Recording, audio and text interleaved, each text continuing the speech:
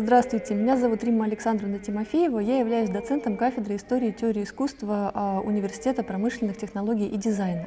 А, и сегодня а, тема такого краткого обзорного занятия, которое я бы хотела провести, это общая характеристика развития древнерусского искусства.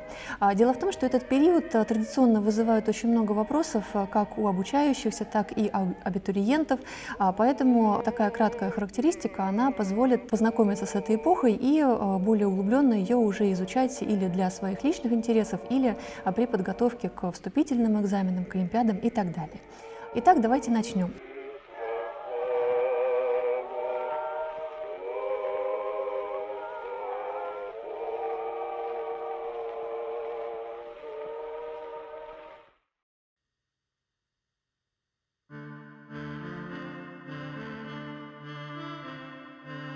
Сначала нужно сказать несколько слов об общих особенностях данного периода. Здесь в первую очередь мы вспоминаем, что а, древнерусское искусство – это искусство, которое имеет а, религиозную окраску.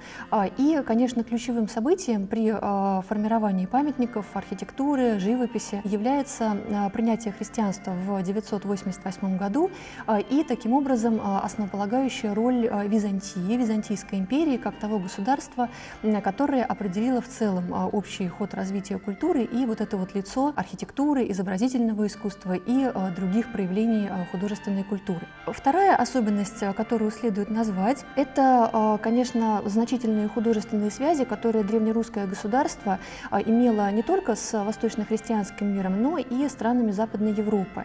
А поэтому многочисленные проявления этих взаимосвязей, они также встречаются в виде мастеров, которые приезжали на Русь и работали здесь, в виде образцов, которые поступали сюда, и в виде отдельных произведений искусства, которые тоже а, могли а, привозиться и таким образом служить источником и образом вдохновения для уже а, русских мастеров. А следующая важная особенность, о которую следует назвать, это, конечно, отсутствие античной традиции. Для русских земель это была характерная черта, поэтому знакомство с античными памятниками, знакомство с системами, которые помогали мастерам создавать искусство, происходит только после крещения Руси, только после принятия христианства. И как бы так опосредованно через влияние византийского искусства. И следующая особенность, тоже важная, которую следует отметить, это наличие в истории русского искусства и в истории русской культуры двух тенденций. То есть сочетание такой аристократической тенденции, представителями которой являлись князья и такие вот высшие слои русского общества, с демократическими чертами, то есть то, что выражало какие-то фольклорные традиции, то есть то, что было характерно в большей степени для народа. Конечно, в истории Э, древнерусской культуры, древнерусского искусства, сочетание вот этих двух моментов э, позволяет прослеживать очень яркие плоды, очень яркие проявления, потому что эти тенденции, они взаимно обогащали друг друга. Народная такая более стихийная, более непосредственная, более живая, и аристократическая, которая придавала большую такую строгость, упорядоченность и более высокое художественное качество. Именно с опорой вот на то классическое наследие, которое а, Русь получает благодаря крещению Руси а, по восточному образцу, то есть через Византийскую империю. Следующий момент, который необходимо оговорить кратко, это периодизация этапов, которые проходит древнерусская художественная культура. Здесь традиционно мы выделяем три эпохи. Это культура языческая, то есть до 988 года. Далее второй большой этап – это период домонгольского искусства. И третий большой период – это послемонгольская Русь, которая тоже имеет свои особенности. Сегодня а, я буду говорить преимущественно о периоде а, языческой Руси и о периоде домонгольского искусства, потому что в целом а, эти темы они очень обширны и требуют отдельного внимания. Здесь традиционно выделяются такие этапы. Первый период – это эпоха Киевского государства, которая связана с деятельностью таких князей, как Владимир, как Ярослав. И первые этапы формирования древнерусского искусства, они как раз связаны именно с этими эпохами. Второй период тоже очень важный. Это период культуры 12 столетия, это время а, политической раздробленности, и для развития а, древнерусского искусства оно имело очень большую роль, потому что создаются предпосылки и формируются именно а, местные региональные школы, которые могли совпадать, например, с границами удельных княжеств. Третий период, который тоже характеризует развитие домонгольского искусства, Это период XIII века, эпоха очень драматичная, потому что она была связана с борьбой Руси с иноземными захватчиками. Это и монголо-татарская ига, это и борьба с крестоносцами. Поэтому это время оно очень драматично проявилось в всех сферах культуры, и в литературе, и в изобразительном искусстве. Ну и, например, архитектура в это время, как каменное строительство, замирает, потому что объективные условия были таковы, что не было предпосылок вот для такого планомерного развития данного вида искусства. На табличке в презентации, которая перед вами, я сопоставила эти эпохи с периодами развития византийского государства для того, чтобы было наглядно видно о том, насколько Древняя Русь вот до определенного момента она была тесно связана с общим развитием восточно-христианского мира.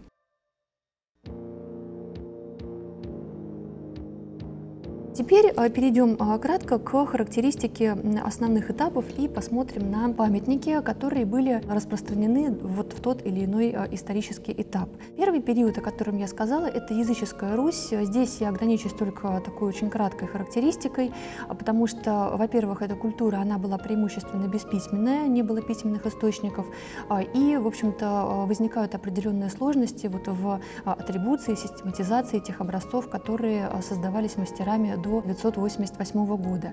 А поэтому, конечно, в основном а, период языческой а, культуры он характеризуется развитием декоративно-прикладного искусства. Это образцы а, ювелирного искусства в первую очередь, которые обнаруживались учеными, исследователями в археологических кладах. И вот в собрании наших музеев, Государственного русского музея, в других региональных коллекциях, конечно, содержится большое количество предметов подобного рода. Это могут быть украшения, какие-то образцы, которые имели культовый смысл, смысл, а, религиозную тоже принадлежность. И а, они отличаются по своим техникам, по манере исполнения.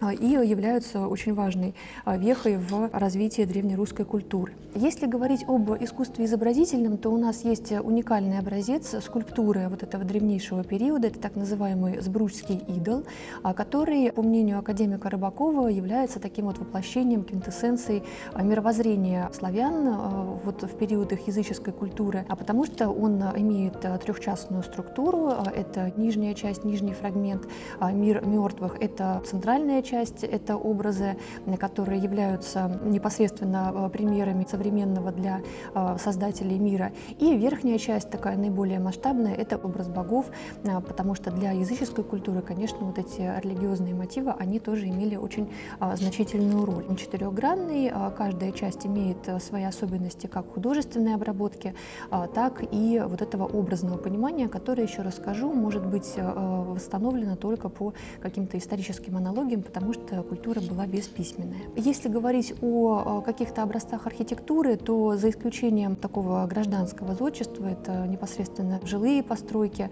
образцы э, такой древнейшей деревянной архитектуры, культовые сооружения этого времени, они или не сохранились, или представлены были минимально, потому что, а так как э, славянские племена, они были язычниками, поэтому характерной чертой для культуры этого э, явления становится обожествление сил природы. Поэтому сакральные какие-то объекты, святилища, а, сакральные комплексы, они часто а, являлись природными объектами, например, это священная роща а, или какой-нибудь там лес. Вот. И на слайде, который перед вами, представлена реконструкция, которая была выполнена в конце 20 века, такого вот славянского мифологического леса. Святилища мы видим в центре расположенного идола, и основным таким моментом при планировке такого рода сооружений а, была их центрическая структура, что тоже, а, по мнению исследователей, имеет разнообразное значение. В частности, это солярная символика, то есть такие образы, как круг, крест, они чаще всего связаны с а, солярной символикой.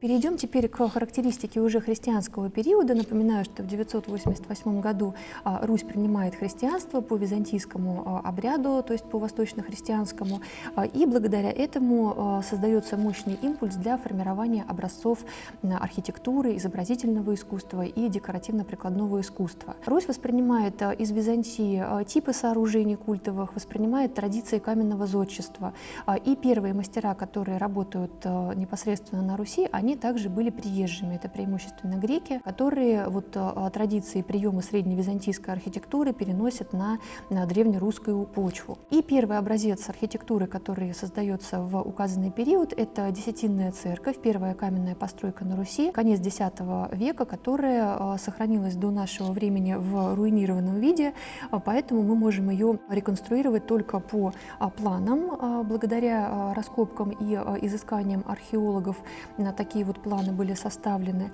и, соответственно, по каким-то описаниям, которые сохранили письменные источники, потому что, в общем-то, благодаря деятельности Кирилла и Мефодия, также византийские просветители на Руси появляется алфавит, появляется письменность, более подходящая для описания каких-то важных событий, то есть появляются летописи, и вот в частности в этих текстах встречаются и сведения о создании того или иного памятника. Второй образец архитектуры, который тоже является примером работы византийских зодчих на Руси, это а, Софийский собор в Киеве, создание которого начинается в 1037 а, году. А, до наших дней он также сохранился в видоизмененной форме, однако можно выполнить реконструкцию, и также большая роль этого сооружения заключается в том, что внутреннее пространство оно сохранилось с очень незначительными изменениями, поэтому дает возможность судить о том, как этот памятник выглядел а, и в а, древнейший домонгольский период. На представленном слайде мы видим с вами план, видим о том, что сохранена традиционная для византийского зодчества этого времени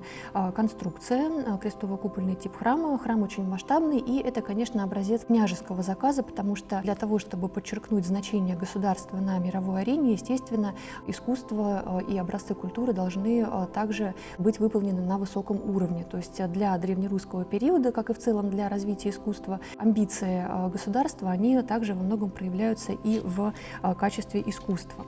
Как я уже сказала, это тоже образец, который а, был построен византийскими мастерами, поэтому характерный для столичной архитектуры Константинополя тип кладки, смешанная кладка со скрытым рядом вот здесь она а, также на одном из зондажей представлена. Естественно, что а, христианская культура, она предполагает не только создание архитектурных построек, а, а также предполагает и их украшение, потому что это отвечает христианским представлениям вот, о мироздании, о домостроительстве Бога, о человеке и так далее. Поэтому в архитектурных сооружениях домонгольского периода мы с вами встречаем большое количество образцов изобразительного искусства.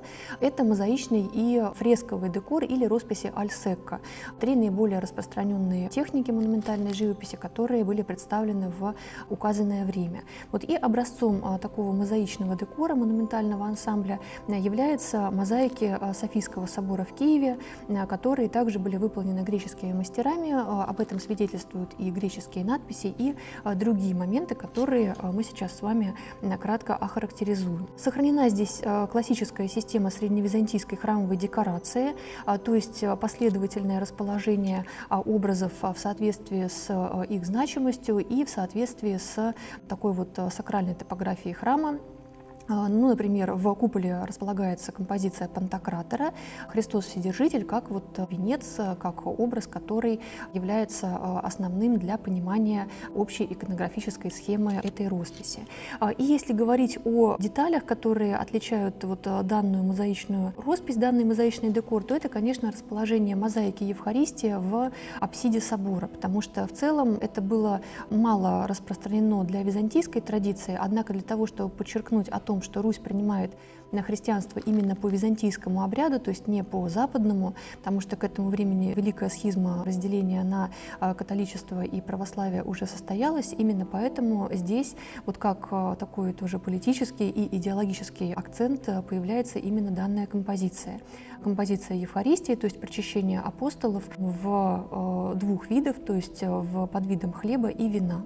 Западная традиция, она от этой практики отказалась.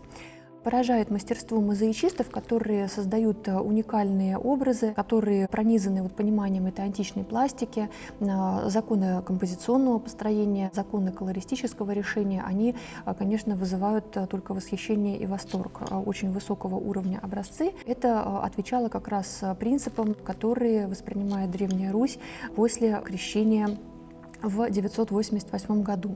Фресковый ансамбль Софийского собора, он также сохранился в э, достаточно э, большом количестве. Вот здесь мы можем видеть как образы отдельных э, святых, например, в медальонах, вот святые мученицы Вера, Надежда, Любовь и Мать их София, образы целителей, святителей, в данном случае это святой Кир и Николай Чудотворец. А тоже это образцы, которые составляют шедевры сокровищницы мировой художественной культуры. Композиционно эти образы, они они э, вписаны в архитектурное пространство, потому что для монументальной живописи э, это очень важный момент, э, именно синтез архитектуры и изображения, то есть подчеркивание тектоники и максимально полное их соответствие друг другу. Кроме культового зодчества, конечно, вот в этот древнейший период Киевской Руси получает распространение и гражданское зодчество, и фортификационное, то есть оборонное. Если говорить об оборонном зодчестве, то мы можем с вами посмотреть на реконструкцию золотых ворот, которые располагаются в Киеве. Реконструкция тоже была выполнена уже в современности. А, и а, это как раз а, такой вот пример военно-инженерного сооружения указанного периода, потому что, в общем-то, любой город, он был крепостью, и таким образом вот крепостные стены, они имели тоже большое значение. Кроме памятников, которые расположены на территории Киева, мы знаем образцы и в других городах, например, Спасо-Преображенский собор в Чернигове, который тоже является образцом архитектуры древнейшего вот киевского периода. Также он наследует традициям средневизантийской архитектуры, архитектуры, что прослеживается и в конструкции, и а, в технике исполнения, и а, также внутреннее убранство, оно пронизано вот этим духом понимания античности, когда традиции а, античной пластики, традиции античных пропорций, античной формы, они наполняются вот этим христианским содержанием, и вот этот интересный синтез, он дает такие яркие примеры высокодуховных и идеологически очень интересных образов. Кроме киевских сооружений, указанных указанного периода, как я уже сказала, другие города Древней Руси, они тоже постепенно а, приобретают вот эту традицию каменного зодчества. Вот и здесь в рамках Софийной программы Ярослава Мудрого следует назвать еще один очень важный памятник. Это Софийский собор, который располагается в Новгороде древнерусский город, э, также один из крупнейших центров в политическом отношении со своим а, особым строем. Поэтому, конечно, для вот этого храма можно отметить такие же особенности, как монументальность, э, мощность, такая вот очень целостная законченная форма и, естественно, влияние тех традиций, о которых мы с вами поговорили. Интерьер данного собора, он был декорирован росписями Альсека, которые имели такой вот смысл законченного обособленного иконного произведения. А в данном случае это изображение святых равноапостольных Константина и Елены, и названная техника, она обуславливает их художественные качества, то есть преобладание рисунка как средство выразительности, такая вот более лаконичная форма, а, и отсюда несколько иное понимание идейного содержания образа. То есть образы очень целостные и также они имели большое воздействие на каждого человека, который приходил в этот храм.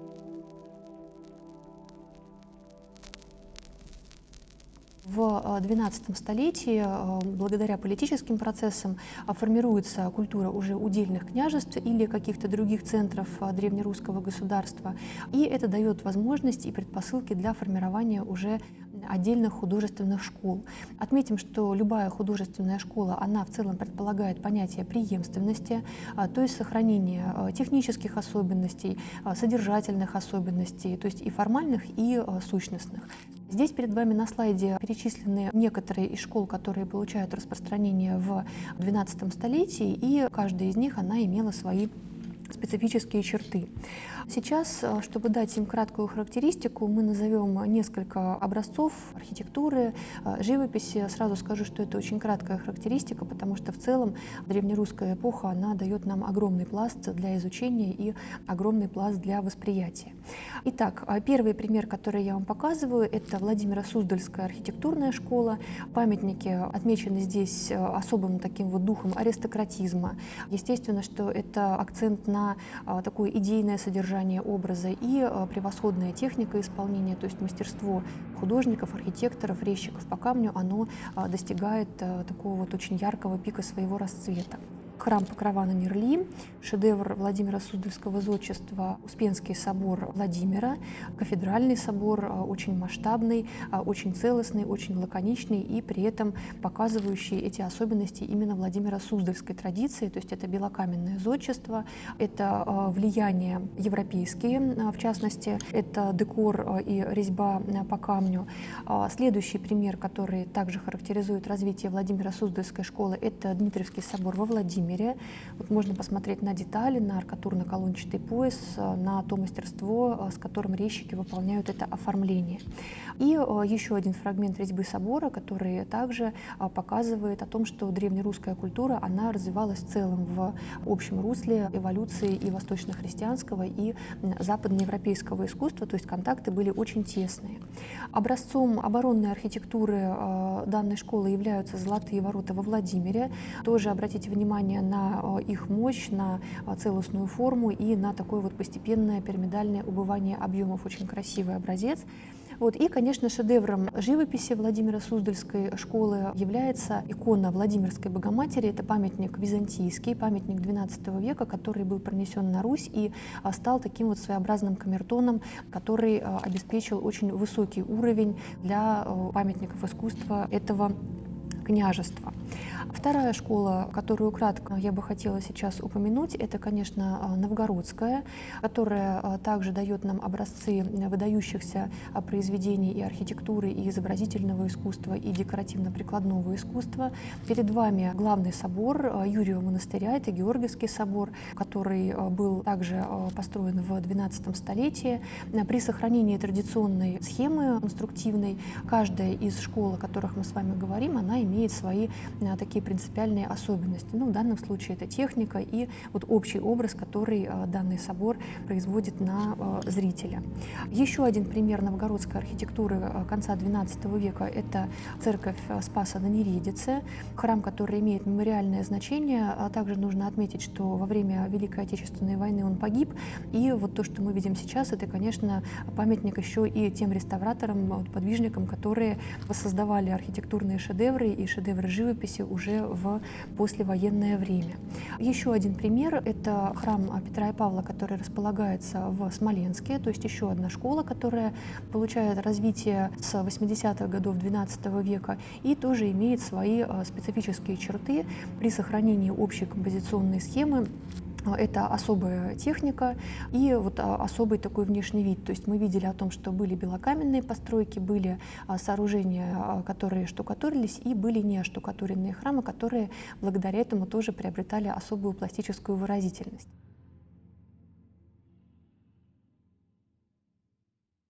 Это общие моменты, которые характеризуют развитие древнерусской а, культуры до монгольского периода. А, сразу говорю, что я оставалась в рамках самых общих особенностей, потому что эта тема очень масштабная. И, конечно, а, поскольку это культура, которая принадлежит вот к иной парадигме, то есть культура религиозная, культура средневековая, она традиционно вызывает очень много вопросов и у абитуриентов, и у обучающихся, поэтому данное видео, оно призвано к тому, чтобы расставить ключевые акценты для того, чтобы при дальнейшем изучении вы уже понимали, а, в какую сторону двигаться. Еще раз, культура религиозная. В а, ранние периоды она воспринимает традиции византийских архитектуры, живописи, декоративно-прикладного искусства. А, далее это создает предпосылки для формирование уже региональных школ, и потом уже к периоду после Монгольской Руси, к периоду XIV столетия формируется очень яркий и самобытный облик древнерусской культуры. Я благодарю вас за внимание, спасибо большое.